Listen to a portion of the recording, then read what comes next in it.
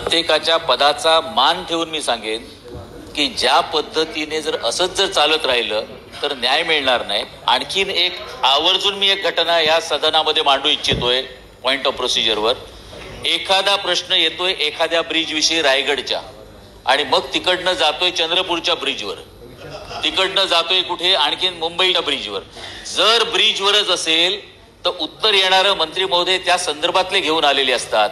आणि सभागृहात तो प्रश्न दुसरीकडे भरकटवला जातोय. याच्यावर पण पॉइंट ऑफ प्रोसिजरमध्ये याच्यावर विचार केला जावा अशी मी आपल्याला विनंती करतोय. बोला. आज अत्यंत महत्त्वाचं आहे.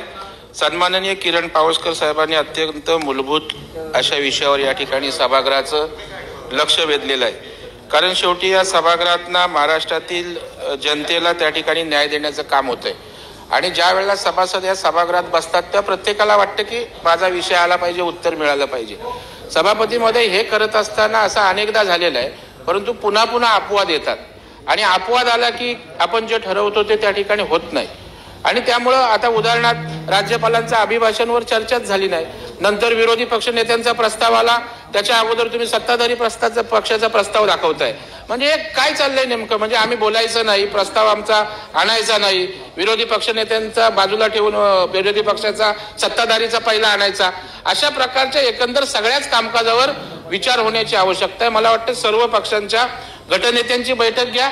आपण एक गाईडलाईन ठरवा आणि त्या गाईडलाईनचं पालन त्या ठिकाणी होण्याची आवश्यकता आहे.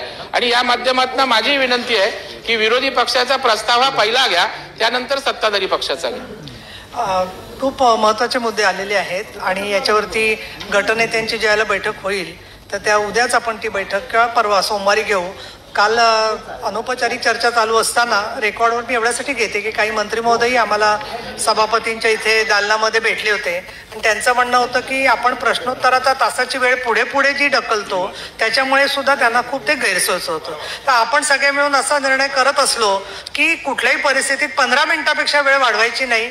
नंतर मग असेल तिथे नाही तर वाढवायचीच नाही. असा निर्णय सगळे एकमताने घ्या आणि नंतर मात्र आपण माननीय सभापतींच्या समोर आमच्यासमोर जे सांगता त्याच्यानंतर आपण मग प्रतिज्ञा करूया सर्वजण की आपण सभागृहात मग म्हणणार नाही की आता वेळ वाढवा. कारण आपण एक बोलतो आणि त्याच्यानंतर सभागृहात आपले जिव्हाळ्याचे विषय असले की स्वाभाविकपणे आपण त्या भावनेच्या आणि विचाराच्या अधीन होतो. दुसरं सन्माननीय पावसकरजी म्हणाले जे तो पण महत्त्वाचा प्रश्न आहे की एका विषयावरून दुसऱ्या विषयावर जातो. परंतु आपण अत्यंत सहृदय लोकशाहीवादी लोक आहोत. मंत्री महोदयांच्याकडून आपल्या खूप अपेक्षा असतात. आणि त्यामुळे त्यांनाही सगळ्या जिल्ह्यांची माहिती असते. त्यामुळे ते म्हणतात तिथल्याही जिल्ह्यातल्या लोकांचं समाधान होत असेल तर आपण प्रश्नाचं उत्तर देऊया. तर आपल्याला सहृदय लोकशाही पाहिजे असेल तर थोडंसं मला असं वाटतं काही बाबतीत सबुरीचं धोरण महत्वाचं आहे. बाईजी आपला कशावर प्रश्न आहे? प्रोसिजरवर प्रश्न आहे? का? नाही नाही आता सन्मान मला सचिव देत आहेत निर्णय पण त्याच्यावर फार मोठा अजून वाद होणार आहे. त्याच्यापेक्षा लक्षवेधीकडे चला चला. लक्षवेधी क्रमांक पाच. त्याच्यावर आपण सभापती आल्यावर घेऊ. हा? छापल्याप्रमाणे लक्षवेधी क्रमांक पाच हा.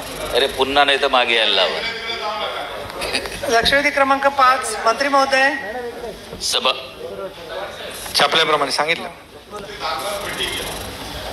आता हे सभापती. महोदया. आपलं शिस्तीने काम हा करायचं प्रश्न वसई विरार महानगरपालिकेतील परिवहन सेवेतील कर्मचाऱ्यांच्या थकीत वेतन आणि वेतन वाढी संदर्भातला आहे यामध्ये श्रमजीवी रयत कामगार संघटनेकडून समर्थ संस्थेकडून दोन हजार पंधरा सोळापासून सातत्यानं याचा पाठपुरावा कामगार विभागाकडे मंत्रालयीन पातळीवर परिवहन सेवेतील कर्मचाऱ्यांकडे केला जातोय कॉन्ट्रॅक्च्युअल आपण आपल्या उत्तरामध्ये जे दिलंय आणि आम्ही प्रश्न जो विचारतोय सातशेहून अधिक कर्मचारी काम करतायत दोन हजार बारापासनं आपण वसई विरार शहर महानगरपालिकेतील ही परिवहन सेवा करण्यासाठी आपण मे Bhagirathi transport corporation private limited या संस्थेबरोबर आपण करार केलेला आहे. सदर उपक्रमासाठी वसई विरार शहर महानगरपालिकेतील बस खरेदी देखभाल दुरुस्ती इंधन खर्च कर्मचारी भत्ते इतर बाबीवर आपण कॉन्ट्रॅक्ट साईन केलेलं आहे याच राज्यामध्ये कामगारांविषयी काही धोरण आहे.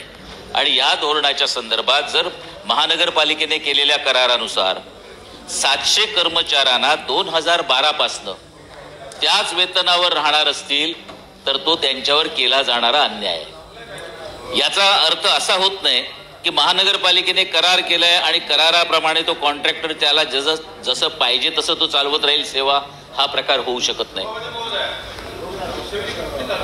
पाचवी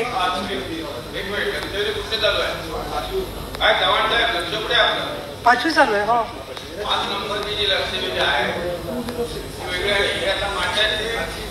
नंतर नियमित जे सभागृह चालणार आहे ते मांडतायत दोन नंबर. आपल्याकडे कदाचित रावते सन्माननीय रावतेचा आपल्याकडे चुकीचा कागद आला असेल.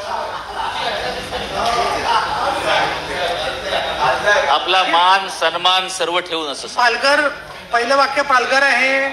शेवट जे आहे कंत्राटी कामगारांचा विषय आहे.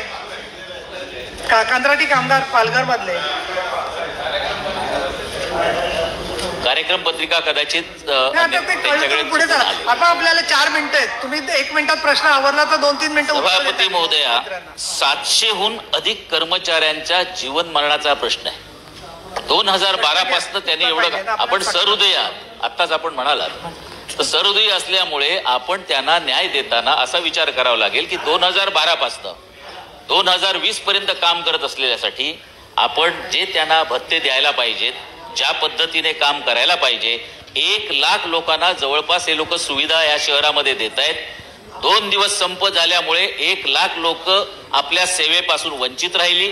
तर ते न होता सरकार याच्यावर धोरण घेताना दोन हजार दहाला जी वेतन भत्ते झाल्यानंतर दोन हजार वीस पर्यंत तेच वेतन मिळत असेल दहा वर्ष तर त्याच्यावर सरकार नंबर एक काही उपाययोजना करणार आहे का? नंबर दोन पी एफ जर कोण भरत नसेल तर त्याच्यावर क्रिमिनल ऑफेन्स घेतले जातात. तो क्रिमिनल ऑफेन्स त्यांच्यावर आपण घेतलेला आहे का?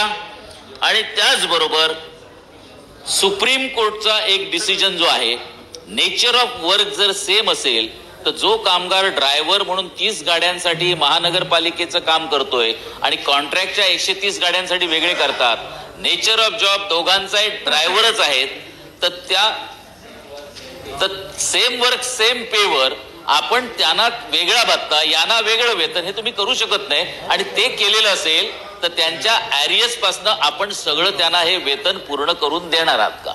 मंत्री महोदय.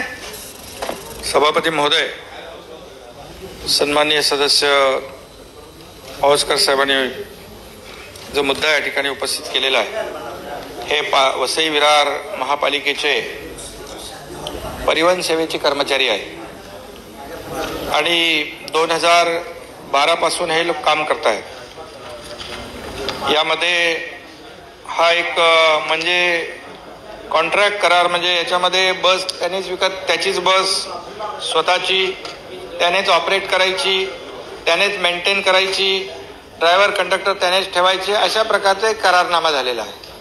आणि त्यामध्ये ह्याचं जे दायित्व आहे हे सगळं कॉन्ट्रॅक्टरवर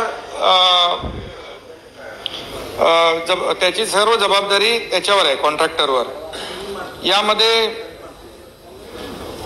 जेव्हा दोन हजार अठरा साली संप झाला आणि त्यावेळेस संप झाल्यानंतर काही देणी होती काही पी एफचे पैसे होते हे सगळे थकीत होते त्याचे काही प्रमाणामध्ये. त्यावेळेस त्याला मा महापालिकेच्या वतीने नोटीस दिली आणि बैठक झाली त्यामध्ये त्याच्याकडून भविष्य निर्वाह निधी आणि इतर देणी ही त्वरित मिळाली पाहिजेत. अशा प्रकारचं महापालिकेने बजावल्यानंतर त्याने त्यामध्ये लेखी तसं कळवलं आहे की परिवहन सेवेतील कर्मचाऱ्यांना शासन निर्णयातील सार्वजनिक मोटार वाहतूक उद्योगात काम करणाऱ्या कर्मचाऱ्यांना वाढणारा महागाई भत्ता वेळोवेळी अदा करण्यात आलेला आहे. ज्या कर्मचाऱ्यांना वाढीव महागाई महागाई भत्ता अदा करण्यात आलेला नसेल अशा कर्मचाऱ्यांसोबत आमच्या आस्थापनेचे कर्मचारी बसलून जी थकीत रक्कम निघेल ती सदरची रक्कम कर्मचाऱ्यांच्या खात्यामध्ये अदा करण्यात येईल.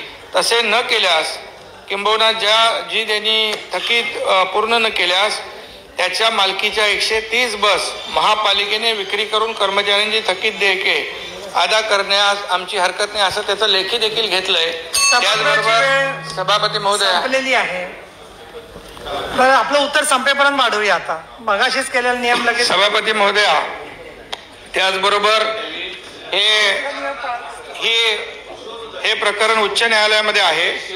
आणि रीट याचिका क्रमांक सात हजार एकशे अठ्ठेचाळीस दोन हजार एकोणीसमध्ये सभापती महोदया दोन हजार एकोणीस रोजी दिलेल्या आदेशानुसार किमान वेतन अधिनियम एकोणीसशे अठ्ठेचाळीस अनुसूची अकरा अन्वये वसई विरार शहर महापालिकेच्या bus operator messrs Bhagirathi transport corporator limited यांच्या वाहन चालक व कंडक्टर यांच्या सार्वजनिक मोटर वाहतूक अधिनियम वीस सात दोन हजार अन्वये वेतन लागू होईल अशा प्रकारचा निर्णय कामगार विभागाने महाराष्ट्र कामगार विभाग महाराष्ट्र शासन यांनी दिलाय त्यानुसार हे वेतन हे वेतन अदा करण्यात येत आहे. आणि याचबरोबर बैठक देखील बैठक लावण्याची मागणी आहे. यांची ती तर लावण्यात येईल. परंतु महापालिकेने हे जे काही देणी त्याची थकीत आहेत किंबहुना ज्या काही तक्रारी आहेत या संदर्भामध्ये महापालिकेने जी बीमध्ये महासभेमध्ये एक ठराव पारित केलेला आहे की याचं दोन वर्षाचं कॉन्ट्रॅक्ट शिल्लक असताना याची सेवा बरोबर नाही. म्हणून नवीन बस ऑपरेटर नेमावा अशा प्रकारचा देखील ठराव पारित केलेला आहे. आणि तो नवीन बस ऑपरेटर नेम त्याची नेमणूक होईपर्यंत याने सेवा जशी आहे तशी द्यावी अशा प्रकारचा देखील ठराव पारित झालेला आहे. हो.